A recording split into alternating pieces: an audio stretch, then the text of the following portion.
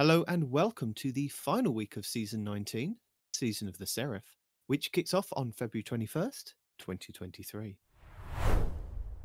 So, for our final week, let's have a look at our legacy rotation, starting with the loot rotation for Dares of Eternity, which will be on week 4's rotation with the Scatterhorn armor set and Pathfinder armor set being available. The weapons available this week will be the Stasis Precision Frame Shotgun Fractethyst, the Solar High Impact Frame Auto Rifle Cryosura Milo, the Stasis Precision Frame Hand Cannon Vulpecula, the Arc Precision Frame Bow Wolftone Draw, the Solar High Impact Frame Fusion Rifle Ayatollah Draconis, the Solar Rapid Fire Frame Heavy Grenade Launcher Canis Major, the Arc Vice Rapid Fire Scout Rifle Contingency Plan, the Kinetic High Impact Frame Pulse Rifle Legal Action 2, the Solar Rapid Fire Frame Heavy Grenade Launcher Outrageous Fortune, the Void Adaptive Frame Sword, Steel Sybil Z14, and the Kinetic Lightweight Frame Sidearm, spoiler alert. Ready if you are. Let's see what's out there. On Europa this week, Phylaks the Warrior will be the Empire Hunt, the Asterion Abyss will be the Eclipse Zone, and the Exo Challenge will be Agility. On the Moon, the weekly story mission should be a mysterious disturbance. The Trove Guardian and the Wandering Nightmare Horkis are both located in the Anchor of Light. The nightmare hunts this week should be Phogoth, Fear, Ghaul, Rage, and Taniks, Isolation. The Dreaming City this week is at a medium curse level, which means Petra Venj can be found in the Divalian Mists and has the Oracle Engine mission for the next week. The Blind Well features Hive enemies and the Plague Cragur, with the Chimera Garrison being the Ascendant challenge located over in the Chamber of Starlight Lost Sector. In addition, and for the last week, the weekly Throne World reset also refreshes the pinnacle drops for the Wellspring activity and the Preservation mission. This will be the last week for you to complete the Vox Obscura replayable exotic mission and any triumphs and rewards tied to that. And the final week to complete the exotic mission, Operation Seraph Shield in the Helm. The Witch Queen weekly story mission is the last chance, where the modifier is Martyr, as well as Barrier and Unstoppable champions. The King's Fall Raid Challenge this week is the third encounter, Golgoroth, called Gaze Amaze. The gaze holder must stand in the pool of unclaimed light when swapping the gaze. The Vow the Disciple Challenge this week is the first encounter, Acquisition, called Swift Destruction, where Guardians must kill all champions within a few seconds of each other on all rounds. The Vault of Glass Challenge this week is the fourth encounter, Gatekeeper, called Strangers in Time. Players must defeat the Praetorians and Wyverns at the same time. The Deepstone Crypt Challenge this week is the third encounter, Taniks Part 1, called Of All Trades. Guardians must perform each role at least once Operator, Scanner, and Suppressor. The Last Wish Challenge this week is the third encounter, Morgeth, called Forever Fight. Players must not kill the small ogres during the encounter. Your pinnacle raid will be the Garden of Salvation over on the moon, which means all challenges will be available for each encounter. These are the first encounter, Embrace, called To the Top. This is where you must not kill the Cyclops that spawns near the consecrated mind. The second encounter, Spire Defense, called A Link to the Chain. This is where all Guardians must receive the Enlightened buff at the same time. The third encounter, Consecrated Mind, called Staying Alive, where you must not kill the spawning Cyclopses in the first two rooms. And the fourth encounter, Sanctified Mind, called 0 to 100, where you must fully fill each conflux with 30 motes within 10 seconds of initially banking the first set of motes. The pinnacle dungeon for this week will be the Pit of Heresy over on the moon. Next up, challenges. We have now had all 75 challenges over the first 10 weeks of the season. As a reminder, if you complete 72 out of the 75, you can get a large pile of Bright Dust to spend at the Eververse store in game. Here's a few that you might have missed that you might want to get completed in the next week. Week 8 challenge for Trials of Osiris. Win 20 rounds in Trials of Osiris for a Trials weapon, Challenge XP and Bright Dust. Week 3's challenge for Team Scorched. Defeat 40 Guardians in Team Scorch for Challenge XP Plus and Bright Dust. Week 6's challenge to acquire the Crucible Velasex Pulse Rifle Ornament for Challenge XP and Bright Dust. Week 8's challenge to acquire the Gambit Velasex Pulse Rifle Ornament for Challenge XP and Bright Dust. And Week 10's challenge Vanguard Ornament. Acquire the Vanguard Ornament for the Velus X Ritual Pulse Rifle for Challenge XP and Bright Dust. And speaking of Bright Dust, we have our final Eververse for this season for the week of February 21st, 2023. Available this week for Bright Dust, we have the VR Exploration Legendary Emote for 700 Bright Dust, the Redline Torpedo Exotic Ship for 2000 Bright Dust, the Harpy Cry Entrance Legendary Transmat Effect for 450 Bright Dust, the Polished Sea Stone Legendary Shader for 300 Bright Dust, the Ghost Fist Bump Exotic Emote will be available for 3250 Bright Dust, the OU Rare Emote for 400 Bright Dust, the Drill Down Shell Exotic Ghost for 2850 Bright Dust, the Externalization Exotic Sparrow for 2500 Bright Dust, the Dynamo Current Cask Ornament for the Hunters, the Thunderous Impact Helm Ornament for the Titans, and the Arclight Hood Ornament for the Warlocks, each for 1200 Bright Dust. The Open Hands Exotic Weapon Ornament for the Lorentz Driver Exotic Linear Fusion Rifle for 1250 Bright Dust and finally, the Taurus Legendary Ghost Projection for 1500 Bright Dust. Hello! As a reminder, your daily Legendary Lost Sector will show you a flag outside which will give you details of champions and burns you will find inside. But if you're new to the game or you're using an alternate character and can't find the flag outside, you will have to run through the Lost Sector normally to have it show up on your map as a Legend slash Master.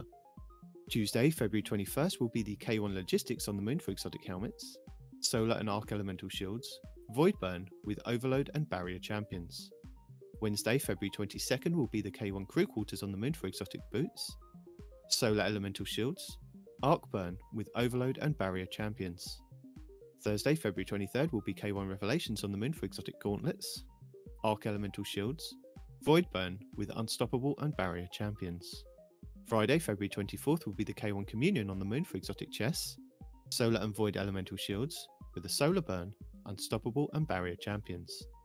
Saturday, February 25th, will be Bunker E15 on Europa for exotic helmets, Void Elemental shields, Void Burn with Overload and Barrier champions. Sunday, February 26th, will be the Concealed Void on Europa for exotic boots, Solar and Void Elemental shields, Solar Burn with Overload and Barrier champions. And finally, back round to Monday, February 27th, will be Perdition on Europa for exotic gauntlets, Arc and Void Elemental shields, Arc Burn with Overload and Barrier champions. Lead the way. Our 12th and final featured Nightfall of the season will see us face off against the Mad Warden in the Warden of Nothing Nightfall over on the Dreaming City, where you have a chance to get a pinnacle engram if you complete the Nightfall with a score of 100k or more. This Nightfall is a free to play Nightfall. You will be able to earn high end gear for your characters, including the Nightfall featured weapon, exotic gear, enhancement cores, enhancement prisms, ascendant shards, and adept mods. The higher the Nightfall difficulty, the more common the drop will be, with the featured weapon and exotic gear being uncommon at hero difficulty to being common with Ascendant Shards in Grandmasters. Legend and lower Nightfalls will have 4 barrier, 4 unstoppable, and 2 overload champions, with 15 void shields. Masters and GMs will have 10 barrier, 7 unstoppable, and 4 overload with 10 void shields. Your adept Nightfall modifiers will be Empath, Enhanced Radar, take increased damage from melee. Martyr, exploding units have more health. Acute Solar Burn, plus 25% solar damage dealt and plus 50% solar damage received. Hero modifiers include all previous modifiers. Extra shields.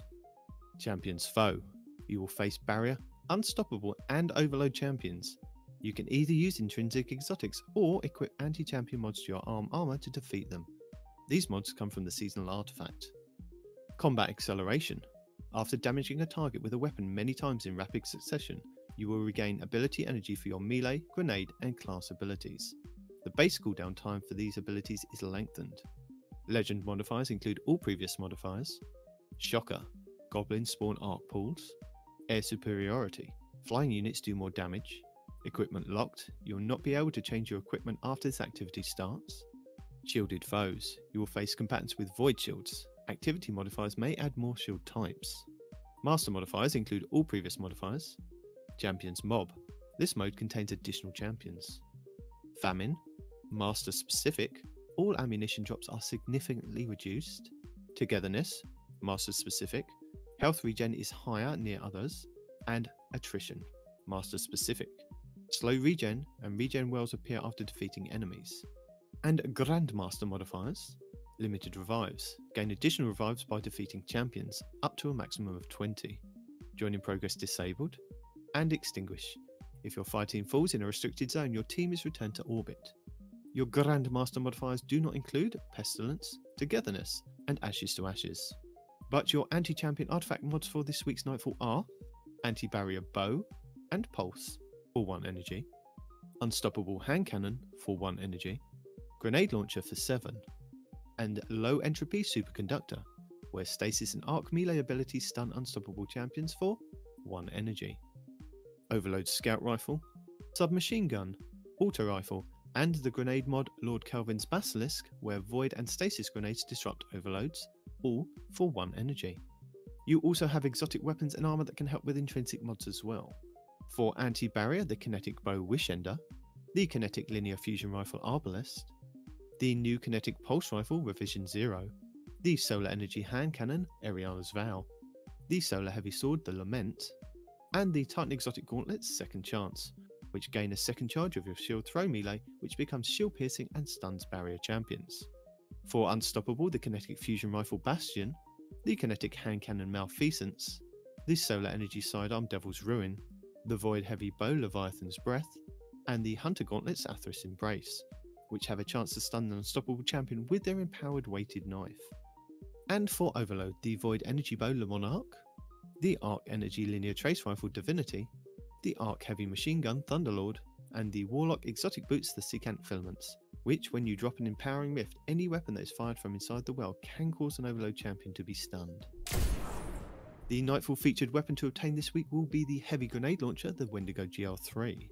The Wendigo GL3 is an adaptive frame grenade launcher with a base blast radius of 50, velocity of 29, and handling of 41.